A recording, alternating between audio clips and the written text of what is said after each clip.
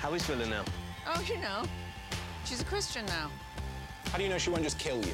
I mean, the 12, they probably got your mug shot up on the wall. Oh, what's the matter? Did someone get murdered? Don't try and outsmart me. You haven't got the neurons. How many toilet breaks? I might not come out of this. I'm gonna give you four. Take case of nervous poos. Your goodness is really starting to.